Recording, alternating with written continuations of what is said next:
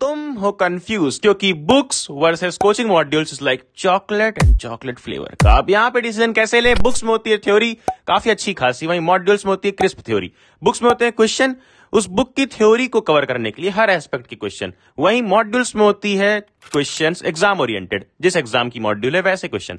यहाँ बुक्स में तुम्हारे पास जिस टाइप की बुक है सिर्फ उसी क्वेश्चन बेसिक बुक है तो बेसिक क्वेश्चन बट यहाँ मॉड्यूल्स में यार उस एग्जाम में जैसे क्वेश्चन रहेंगे वैसे हर एस्पेक्ट के क्वेश्चन लेंगे इजी टू डिफिकल्ट सारे लेवल के क्वेश्चन होंगे अब तुम्हें डिसाइड करने के लिए डिटेल में समझना है तो ये वीडियो की लिंक पिंड कमेंट में मिल जाएगी